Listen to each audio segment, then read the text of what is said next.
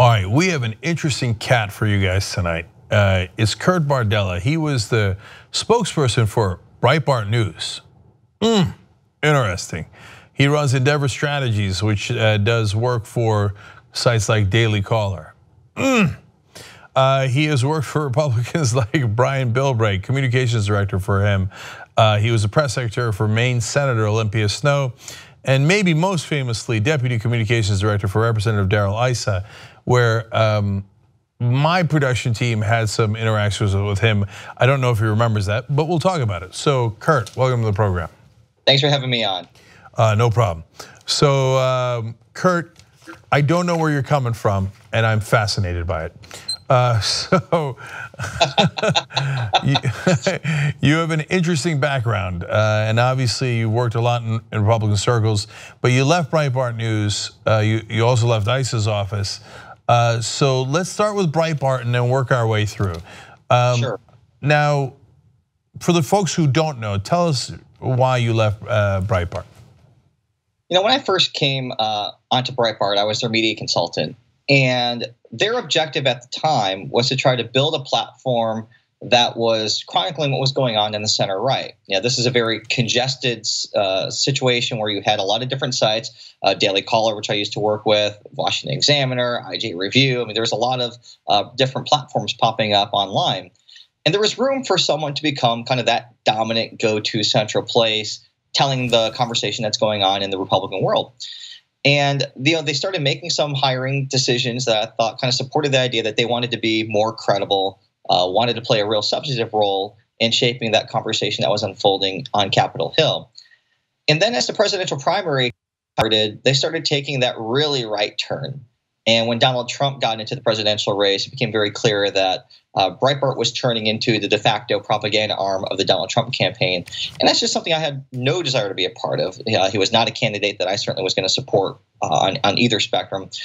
And it all kind of came to a head when there was an incident with then Trump campaign manager Corey Lewandowski and one of the Breitbart reporters, former reporter Michelle Fields. And throughout that situation, I felt that I was being put uh, in an untenable position where I felt I was going to have to lie to the media about what was really going on behind the scenes at Breitbart. And I made the decision to walk away from it. It just wasn't what I wanted to be a part of. Uh, I remember very vividly just you know, literally hopping out of the shower, sending an email to Bannon going, effective immediately, I hereby resign. And that was the last time I ever talked to him. Hmm. Uh, but you you were in PR. Isn't that almost by definition lying to the press all the time? well, I think there's a big difference in things that you can't volunteer uh, versus things that are just flat out lies. And, and, and the press will always want to know more than you're willing to tell them. Uh, but there's no reason why you can't just say, hey, like, I really can't get into that and call it a day.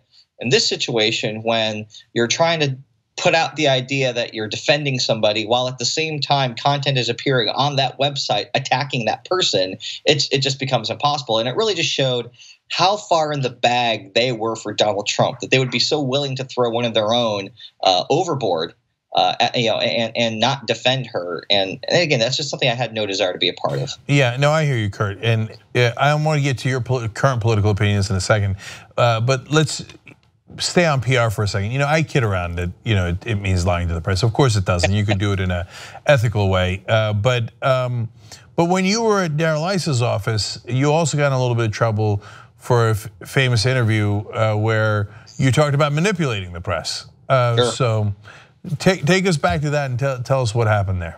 So we're going back to I think this was around I want to say 2010, 2011. Um, you know, Issa had built a name for himself as the as the ranking Republican on the Oversight Committee when they were in the minority. And then, of course, really almost a shocking turn of events in two years. Republicans took back the House. Darrell was becoming chairman of the Oversight Committee with a lot of power, the ability to subpoena, hold investigations, congressional hearings, and uh, he was getting a lot of attention. Uh, and, and, as his spokesperson, frankly, so was I. Um, and uh, I did a I did an interview with uh, well, there really it was kind of two parts. One was with Ryan Lizza at the New Yorker, who wrote a very big profile piece about Darrell, uh, and and also mentioned my role in the organization. And then Mark Leibovich, more famously, uh, was writing a book called This Town, which went on to become a New York Times bestseller. And in uh, uh, and in that process, he he initially actually set out to want to have Darrell be one of the chapters in this book, and instead he thought that I was a more interesting character Uh, of course, I was an unwitting fool in going going along with this at the time, and uh, ended up really sharing a lot of what I was doing and how I was doing it, my interactions with reporters, in an effort, honestly, to be transparent. I thought that the most accurate way to tell the story of what I did day in and day out was to just show them.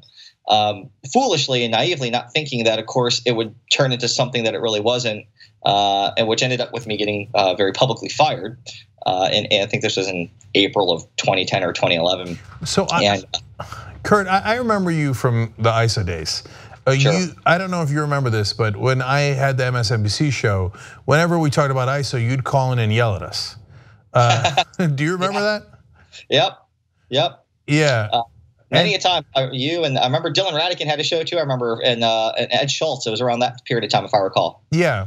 So you were way more aggressive than the other spokespeople. Um, so what was your take on that? Like, what? Why did you go in that direction? Uh, because I, I, look, I don't know if it worked or or, or was counterproductive.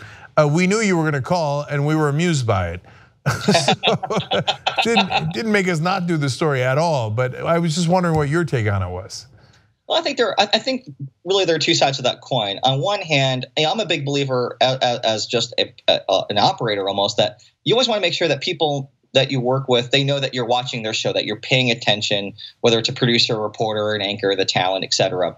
Uh, and, and, at the very least, sometimes the job is just being able to tell your boss, "Hey, I talked to them. I, I gave them you know, the riot act, and, and and it turned out how it turned out, but it wasn't for lack of effort or trying."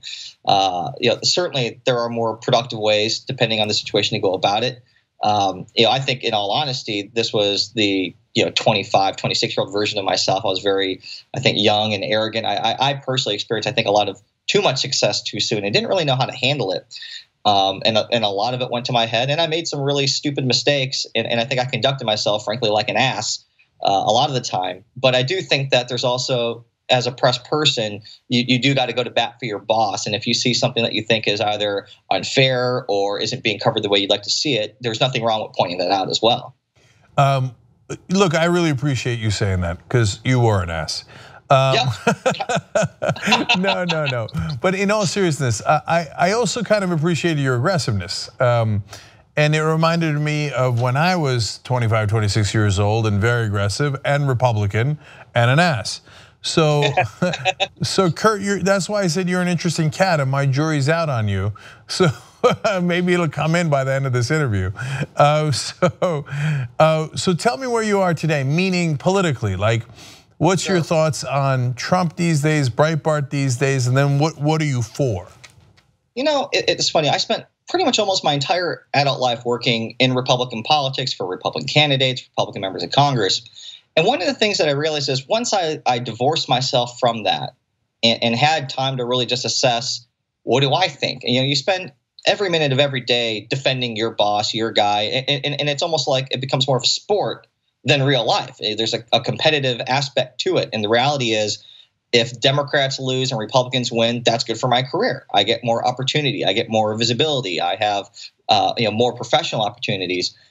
And, and once you finally step outside of that, you actually have a real chance to do some self-assessment and self-reflection and you start looking around and just going, you know, what is it that I really believe personally? And that's really what happened with me. Once I removed myself from the day in and day out battle of, of Republican versus Democrat, conservative versus liberal, I had the chance to just think about what was going on, the characters that were becoming dominant voices in the Republican Party, and, and, and get a sense of, of what, what agreed with me and what didn't. And the direction that the Republican Party started taking, particularly with Donald Trump as their nominee, uh, was just something that I personally could not get behind. Um, you know, whether it's positions on things like climate change or gay marriage or transgenders in the military or immigration, um, you know, every single issue that, that became an issue in this presidential campaign, I fervently disagreed with the position that Donald Trump and the Republican Party were taking. And it astounded me that after we spent the better part of eight years uh, at the oversight committee, lighting up Barack Obama, talking about transparency, talking about a higher standard, that so many Republicans were so silent while Donald Trump was doing the, the most unimaginable things possible as a candidate and now as president. And that hypocrisy really struck a chord with me. And I felt that if I had the opportunity to speak out uh, and a platform to do so, that, that there was a responsibility to do that after spending so much of my time, uh, you know, pointing out some of the other things that I felt that Democrats and Barack Obama were doing that I disagreed with. Okay, that's really interesting about the sports and career. I want to delve into that a little bit more. Uh, and now it's an interesting uh, moment to to take a, a, a second part of uh, this interview, which is so is it possible to uh, be a Republican uh, these days and be against the things that you mentioned earlier? Uh, denying climate change, uh, not being against immigrants, and all the things that Donald Trump is doing. Is there such a thing? Is that is such a kind of partial moderate Republican possible? I wish there were. Um, I don't think that there is, and, and, and it would be one thing if Republican leaders in Congress were very vocal and stepping out and saying, This is not the Republican Party that we believe in. This is not the Republican Party that we want to be a part of.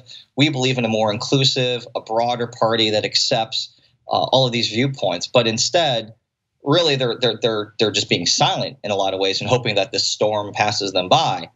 Um, because there is a lack of leadership and a lack of, of, of vocal opposition from within the Republican Party to Donald Trump, I don't think that there is a place anymore for a would-be Republican like myself who wants to say that, hey, there there can be a comprehensive way to deal with illegal immigration that doesn't involve mass deportations, which are completely unrealistic. You can be for gay marriage and, and equal pay, and, and and for everyone having the kind of life that they want to have and live the lifestyle that they want to have. Uh, being a Republican shouldn't mean that you're against government being an instrument of good and improving the condition of lives of people who need help. Unfortunately, I can't name you a single Republican who embodies that. And so I'm kind of left saying, you know, I don't think there is a place in the Republican Party for people like me. That's really interesting. Um, let's let's focus on two different things. One, uh, is Kasich close to that, or or or not really? I don't think so. Um, I know Kasich's making a lot of headway, kind of being the anti-Trump in the Republican Party, but I also think that there was a reason why he was summarily rejected by every voter when he ran, including his own state. So I just don't see that as a viable path forward um, in, in, terms of him being the leader of, uh, you know, being a good enough leader that that rallies enough people around him to be impactful. I just don't see it with him. Okay, and Kurt, what are the Republican principles you still believe in? You know, I believe very much in you know the free market. I, you know, from from a you know, taxation standpoint, I do think that we do need tax reform in this country. Uh, I, you know, I absolutely believe in, in, in, in, the need for check and balance of, of government. And I mean, there is a lot of government waste. I don't care what side of the aisle you're on. You know, th- there needs to be vigorous oversight over the federal government, and, and taxpayer dollars are egregiously, you know, subjected to waste, fraud, and abuse. And, and that was one of the real principles that that aligned me with Darrell Issa, the Oversight Committee, when I was there. Uh, you know, those things I absolutely believe in. I believe in a strong national defense. I don't think we need to spend as much money on it the way that we do. I think that we can spend money better than we do. Um, but you know, from a homeland security standpoint, taxation of uh, traditionally where Republicans were on trade, supporting things like TPP, I absolutely believe in. Um, obviously, they've gone away from that, but traditionally, that's where they were. Yeah, well, nobody knows what the Republican Party stands for after Trump, anyway. Right. so, and that's the that's the big problem. Yeah, and you know, like even on things that they, he's theoretically right wing on, like strong support of Israel, although that spans both parties. Well, kind of, but then he's kind of tough on them on the settlements, which is kind of a good thing. But then he'll say he's moving the embassy, but then he won't. So the bottom line is nobody knows what Trump stands for, and Trump is now the standard bearer for emptiness. Right. So, except filled with hatred and fear. So, right. but but I appreciate that that you stuck to what are your principles and didn't get swayed by that. Uh, but I want to. that's why I want to go back to to what you said, which really resonated with me. On it was kind of like sports, you said, and and uh, you get so wrapped up in your career. And yeah, you know, in 2009, you're you know really young, and uh, Politico puts you on there, 50 people to watch, top 35 under 35. That's got to be intoxicating, right? Yeah, you know, I always look at it as, and kind of back to the sports analogy. I get it how you can sometimes have that athlete who gets drafted right out of high school, doesn't go to college, goes to the pros, and kind of has a few missteps, has some growing pains because you're not conditioned to have that much success thrown at you without any kind of check and balance. And I feel like in my situation, I, I really, I, you know, I came to Capitol Hill very young. I was, I think, 22 when I came to Capitol Hill in 2006 uh, as a press secretary for for a congressman, and I went from that to working for a U.S. senator to you know, a, a, you know, uh, the oversight committee, and that all happened very, very quickly. I was within five years, and all of a sudden, I'm in my mid 20s, working for one of the most influential and visible members of Congress, having every reporter and every outlet you know reaching out every day because they you know we were in a position where we had a lot of interesting content. We had documents and subpoenas and emails and investigations and everybody wanted the scoop. And this is really too when the online media started exploding and it moved away from just traditional print and, and, and the politico effect started kind of permeating throughout capitol hill. Cable tv became that much more competitive. There was a real race going on and, and, and i got to be kind of at the intersection of that day to day. And it was a rush, and and and it, and it very much felt like a, a, competitive sports environment. You know, every day we're out there, we're trying to beat the other guys, whether it's beat the press, beat the other Democrats. We're trying to get as much visibility, even competing with our own colleagues, with fellow Republicans who want want the spotlight as well. I mean, there's only so many hours in a day, so many publications that you can be in. And every time that Congressman A is on TV, that's that that means Congressman B wasn't on TV and you're trying to, to, to, to, have this race of, of exposure and visibility to try to grow you know the, the, the, sphere of influence that your boss has because ultimately that's good for you it, it, sounds like the kind of atmosphere where it's easy to lose sight of principles uh, and get caught up in the rat race of winning yeah because at no point in time does the conversation go well what do I really think about this? What do I agree with this policy or not? You know, really, it's more of hey, we're trying to be the first ones out of the gate. We're trying to beat everybody else. There are 534 other members of Congress trying to get out there every day. Uh, it, it, it is a, a, competition. And that was the lens for a very long time that I viewed what I was doing day in and day out it was all about just winning. Um, and it wasn't until I, I, I kind of had a chance to take a step back and really assess, like, well, wait a second. Now that I don't have to do that day in and day out, now that I don't have to speak for somebody else, I can actually figure out what I believe and speak for myself. And, and, and it was incredibly liberating. Yeah, that makes sense. So back then, what was your impression of reporters and the media overall that, that you told Leibovich and, and generally what you thought of it? You know, I think that reporters were they were in a, between a rock and a hard place because they had to compete with their colleagues to get the story first, to get the scoop first. Uh, I can't tell you how many times we would give a scoop to one outlet and and minutes later the other outlets are calling me complaining about why they didn't get the scoop. Um, you know th- th- there was a real challenge as they were trying to wrap their arms around this new online environment where things happen rapidly. It wasn't you could put something out there and it wouldn't come out until the next morning in the in the physical paper. Uh, you know that that started evaporating. And so i think reporters were just all trying to figure out how that would work in their newsroom and their ecosystem. And it really empowered people in my position, fellow press secretaries and flacks, uh, to, to have a little bit more of an advantage because we were the ones that we were the keeper of the information. We could dole out scoops and pick who we wanted to get it and, and play a role in shaping that story because we were doing reporter A more of a solid uh, by giving it to him. And so it, it kind of changed the equilibrium a little bit and, and, tilted it in the favor of people in my position as, as the media universe was trying to figure out just how to exist in, the, in, in that 21st century rapid response tech world. Hold on, because there's something really interesting that I want to find out about there. So uh, when when you say that uh, reporter A is trying to get the story from you and, and that gives you leverage, did you get a sense that the reporters then had an incentive to make sure that they covered the story in the way you wanted it covered so they'd get the next scoop? I would say that uh, the advantage really was because there was only one place to get this kind of information, it allowed me to package it in a way where you know hey anytime you get the first opportunity to present information uh, you have an inherent advantage. You know it's, it's think of it like a courtroom and you get to kind of go first and make your case and it's always harder it's always harder for the defense to have to defend because they're going they're following that. And I think in our case at the oversight committee, the, the, the advantage of being able to kind of frame it, the reporter at the end of the day can make whatever determination they wanted to make of whether they thought this was a legitimate story or not, or whether our angle was was the right one. And certainly going to the other uh, the other side of the congressional Democrats to ask them what their take was on what we were doing. You know, there were different opportunities to to to kind of edit that, but there's no substitute in being able to go first. And I think that was really the inherent advantage. Got you. And uh, what do you make of the media and how they're covering Trump today? I think they're doing the best that they can. I mean, it's an unusual circumstance where, for the first time, the the administration is and the president is directly calling out outlets or reporters and, and literally saying this one's good, this one's bad, this one's fake, these ones do a terrible job, and making up on a daily basis lies about them and perpetuating them. Uh, it, it, it is the most unusual environment where the news networks and reporters and publications themselves are part of that story. And I think the biggest difference now versus before is in some ways Capitol Hill and Congress used to drive that, that daily conversation based on whatever policies they were taking on. Well, now the media, I think, is really more the epicenter of what's going on in chronicling this presidency. You almost learn more talking to a media reporter than you would a traditional political or congressional reporter.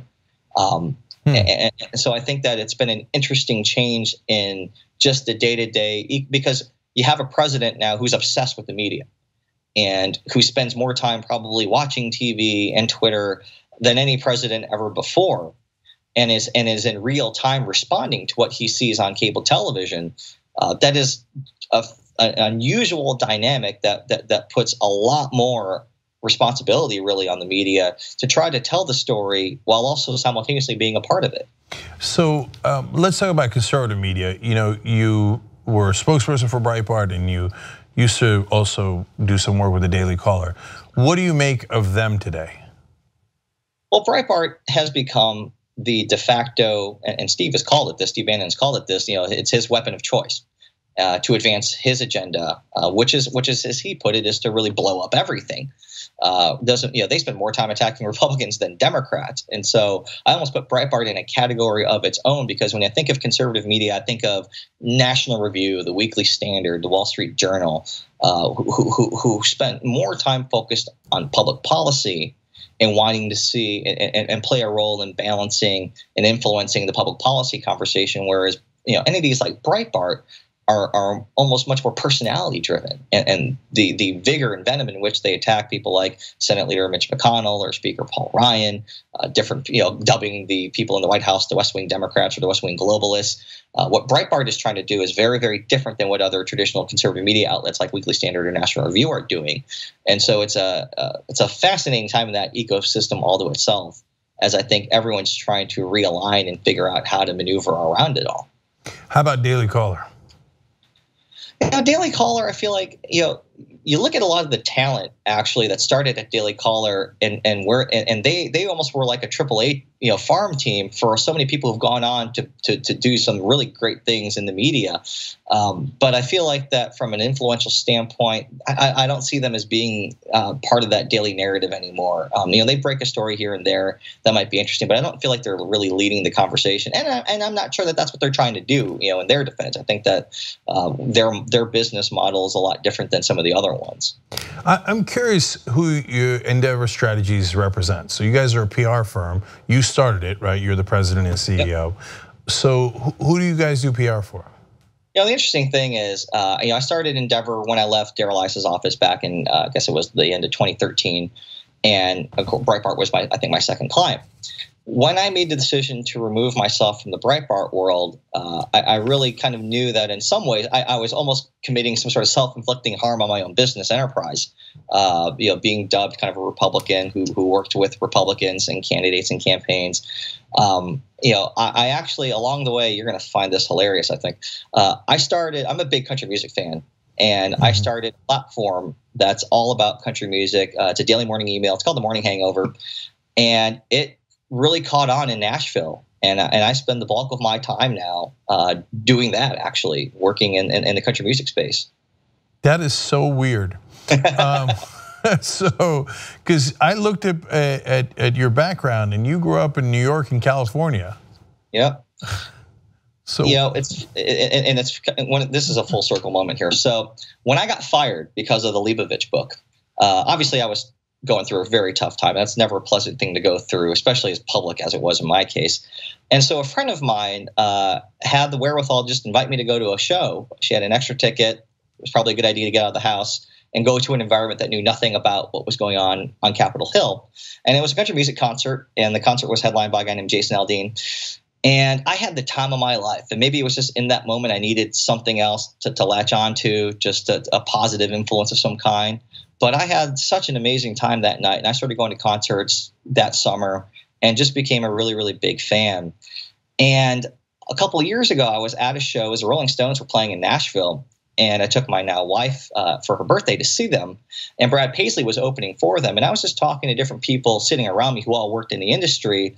And I asked them casually, hey, what do you guys read in the morning to know what's going on? You know, in DC, we have all these morning emails uh, to, digest and synthesize what's going on in politics. I was curious what their version of that was, and it didn't exist. And so I just thought about that for a few months. And then one day I thought, you know what? I think there's something to this idea. I'm going to start an email that just tells you who performed on GMA, who dropped a new music video, who, who's going on tour with whoever, and, and, and see if this works. And, and much to my shock, it did. Yeah, all right. Well, God bless on that front. I'm an old school country fan. Uh, uh back when the country stars were super liberal instead of super conservative. Uh, but one last thing for you, Kurt. And another time we'll bring you back on and and and to maybe discuss slash debate some of the things you're wrong about. Uh, yes, uh, the the Republican things you still believe in, uh, but. Um, but I wanted to ask you, in your ideal world, in the world of politics, whether it's endeavor strategies or anything else, what do you do next uh, if you are this quasi moderate Republican? I, don't know that there's a space for it. So what do you do? You know, I've, I've I've been very fortunate that I've had the opportunity to to go on a lot of different platforms very regularly and, and, and, provide the perspective of of someone who's walked through the world of that Republican world from all the way as far right as Breitbart and all the way to the middle really as Olympia Snowe, who was at the time the most moderate senator in the U.S. Senate. And I think that there is a space for someone to just talk about what's going on and why, and who doesn't have any conflict. I don't work for any candidate, any campaign. I'm not taking money from any of these people. So I have the luxury of being able to be honest because I've built a different life for myself in a completely separate ecosystem that I love and am passionate about. And that affords me the luxury of being honest about what I see happening and why and where there is hypocrisy or where there could be improvement or where there are pitfalls and what's going on. And so I'm very much enjoying that life kind of as a commentator uh, but one that's that's coming at it from a Republican perspective, who's walked through those worlds, but as someone who actually has the the luxury of being uh, transparent about it. All right, I have a conclusion. Uh, you're going to be progressive by then, but but this but this is a good moment where you're somewhere in the middle, and that's why uh, it's a good reminder to us, to our audience, not to be too harsh in judging people because everybody's got a different perspective, and at different times they have changing perspectives.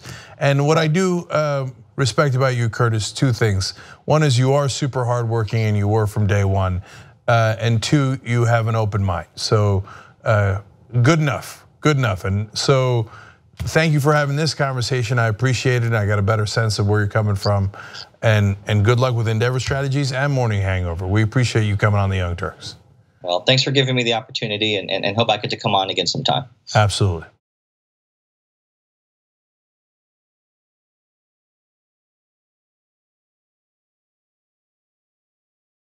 Young Turks members get to watch every single interview live as it happens. TYTnetwork.com slash join.